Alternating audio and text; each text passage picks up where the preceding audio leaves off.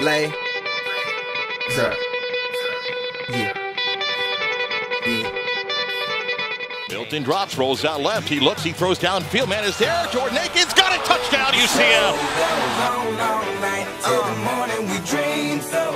The Knights, the 48. McKenzie play fake. Back throws downfield. Akins is there. Got it. 25 to the end zone. Goes